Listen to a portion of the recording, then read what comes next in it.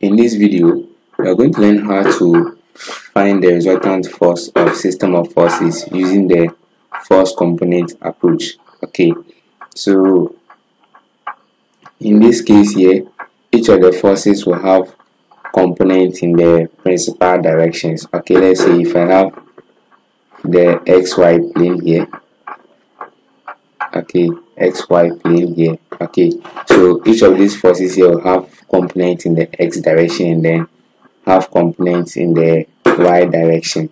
Okay so if you have a system of forces in this way we can resolve the component into the x component and then the y component. Then we add all the x components separately then we add all the y components separately then after that we can calculate for the actual resultant force okay which will be the magnitude of the resultant force and then we can calculate for its angle also.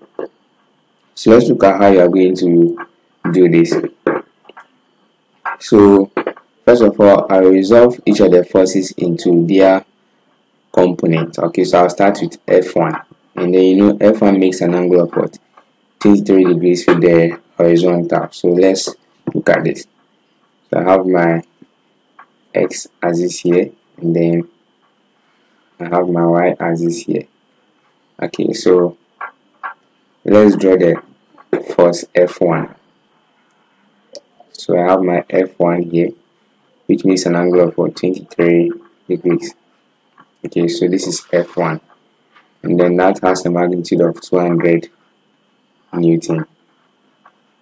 Okay so what will happen is that F1 will have two components. Okay which is one in the x direction and one in the y direction. So let's indicate that. So this is the first component here and then this is the second component.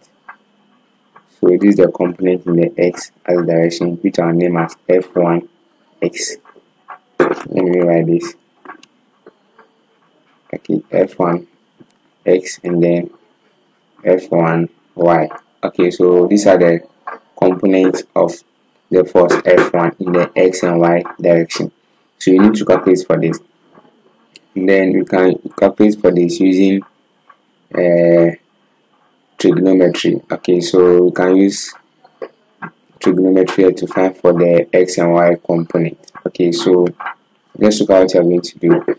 So over here, if I take cosine of the angle 23, okay, that will be equal to the adjacent side over the hypotenuse right? And then hypotenuse will be f1 which is 200 okay so that will be adjacent which is f1x divided by hypotenuse. And then that will be the magnitude of the force f1 which is 200 newton. So i'm going to have f f1x to be equal to 200 multiplying cosine of cosine of 23 degrees. Okay. So that will be f1x and then for the y component okay we will take sine of the angle 23 degrees. That will be sine of 23 degrees will be equal to opposite right which will be f1y over hypotenuse. And then that will be 200 newton so i'm going to have f1y to equal to 200 sine of 23 degrees. Okay so that's for f1 we are going to do same for f2 also. Let me draw f2 here. So this is the x axis this is the y axis. Okay so let me draw f2 so let's have this to be f2 and then that has let me reduce this a bit say that's 150 okay so that will make sense. Okay so let's make this the f2 and then that's 150 newtons okay so it will have two components. So this is the x component and then this is the y component. Okay so let me make this f2y and then f2x okay and then it makes an angle of 68 degrees with the positive x axis so this is what you have now. So let's find the component. So over here so you're going to have f2x to be equal to 150 cosine of 150 cosine of 68 degrees. And then I'm going to have f2y to equal to 150 sine of 68 degrees. Okay so when you look at this you see that all the forces were in the first quadrant. Okay all the forces were in the first quadrant. So we will have both the x and y component to be positive. Okay that's why I have both the x and y component to be positive. So let's take note of that.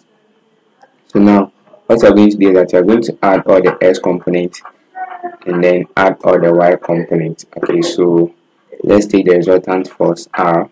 Okay r will be equal to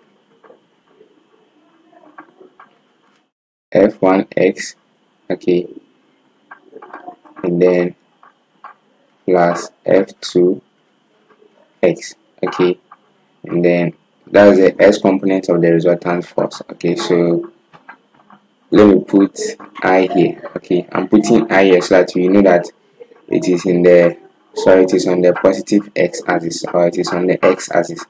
Okay then you're going to have plus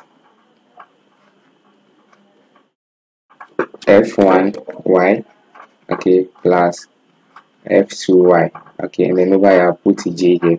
Okay already you know that they are in the x and y direction okay but I just want us to still differentiate them. You can choose to write this without the i and j.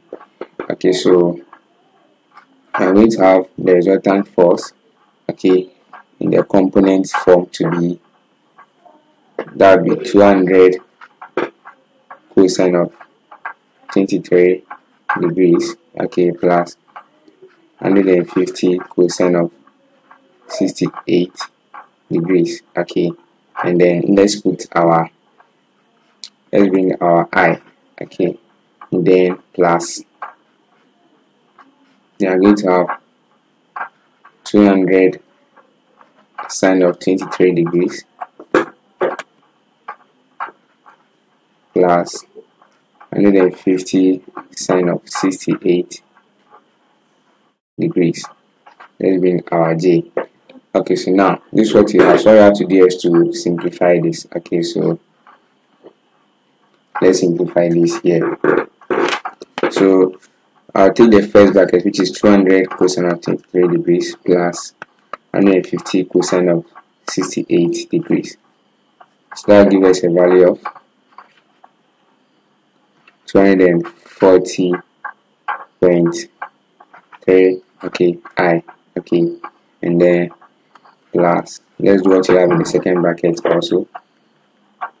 So that be 200 sine 23 degrees plus 150 sine of 68 degrees. That gives us 217.2 then we have our j here.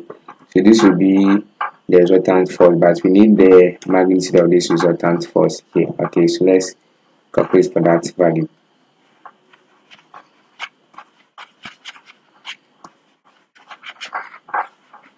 let's calculate for the magnitude of the resultant force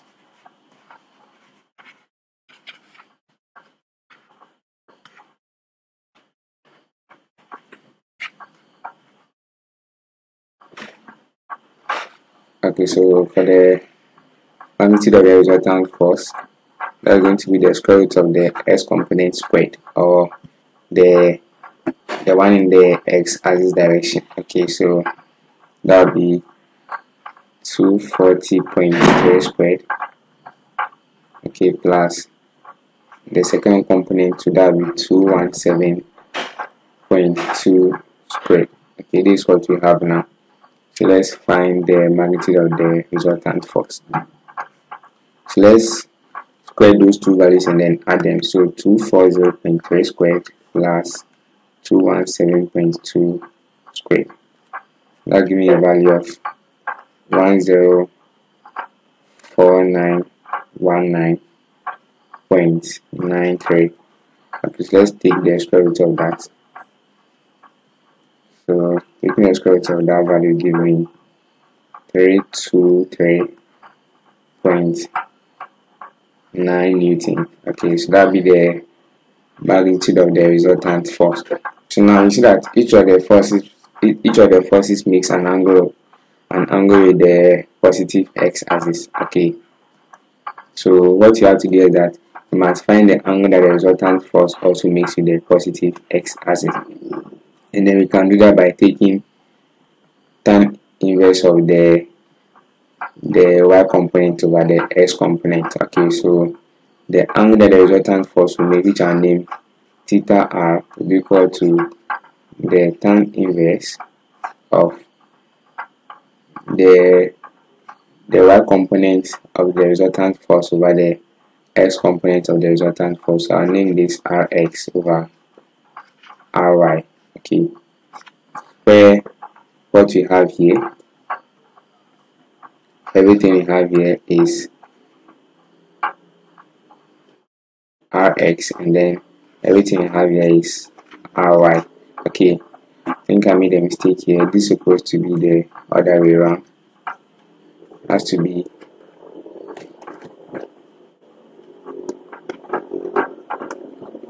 This has to be the tan inverse of ry over rx okay this rather.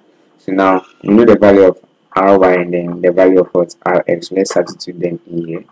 So that will equal to the tan inverse of ry which is 217.2 okay divided by rx which is 240.3 okay so let's simplify what you have in the brackets okay so after tan inverse of so that will be 217.2 divided by 240.3 so that gives us 0.90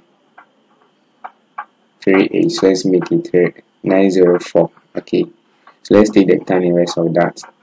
So theta r will equal to the tan inverse of 0.904 then that gives us an angle of 42.1 degrees.